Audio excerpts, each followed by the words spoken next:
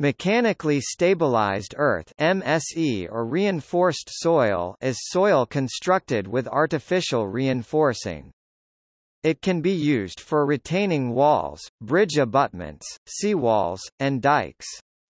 Although the basic principles of MSE have been used throughout history, MSE was developed in its current form in the 1960s.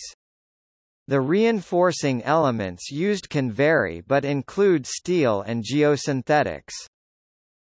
MSE is the term usually used in the U.S. to distinguish it from the trade name, reinforced earth. Elsewhere, reinforced soil is the generally accepted term.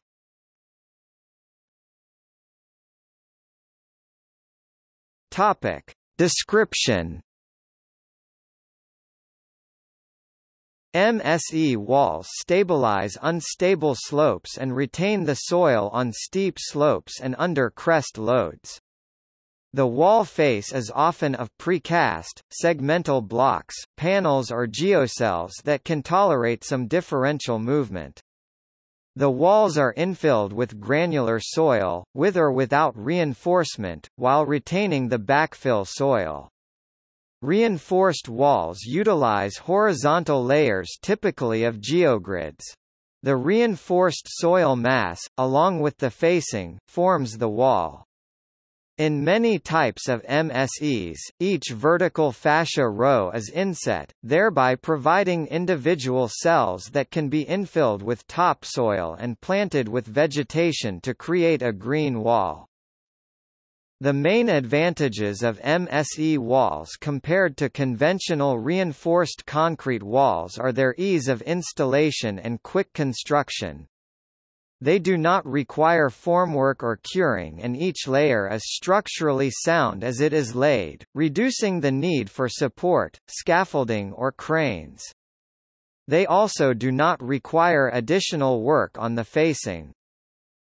In addition to the flexibility of MSE walls in design and construction, seismic testing conducted on a large-scale shaking table laboratory at the Japan National Institute of Agricultural Engineering Tsukuba City, showed that modular block reinforced walls, and even more so geocell retention walls, retain sufficient flexibility to withstand large deformations without loss of structural integrity integrity, and have high seismic load resistance.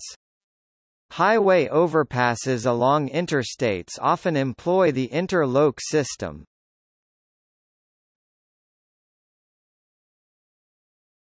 Topic: History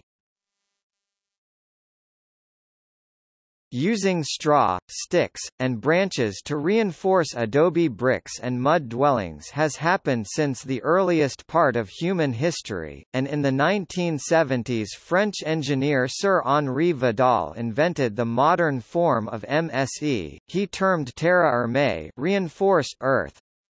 In his submission for his patents he covered every possible reinforcement and facing type.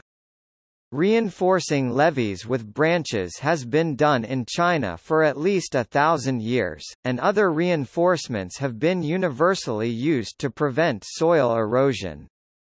Modern use of soil reinforcing for retaining wall construction was pioneered by French architect and engineer Henri Vidal in the 1960s.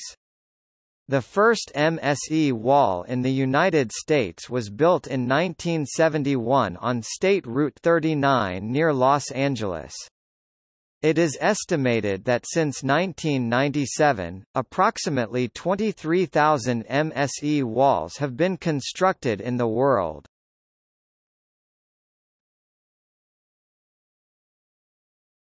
Topic: Reinforcement Reinforcement placed in horizontal layers throughout the height of the wall provides the tensile strength to hold the soil together.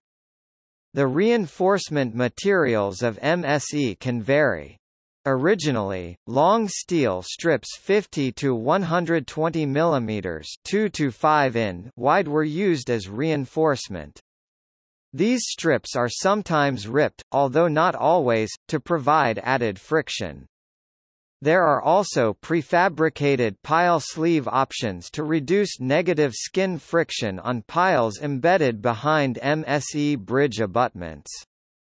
Sometimes steel grids or meshes are also used as reinforcement. Several types of geosynthetics can be used including geogrids and geotextiles. The reinforcing geosynthetics can be made of high-density polyethylene, polyester, and polypropylene. These materials may be ribbed and are available in various sizes and strengths. For erosion control and load support the upper layer can be reinforced by geocell materials.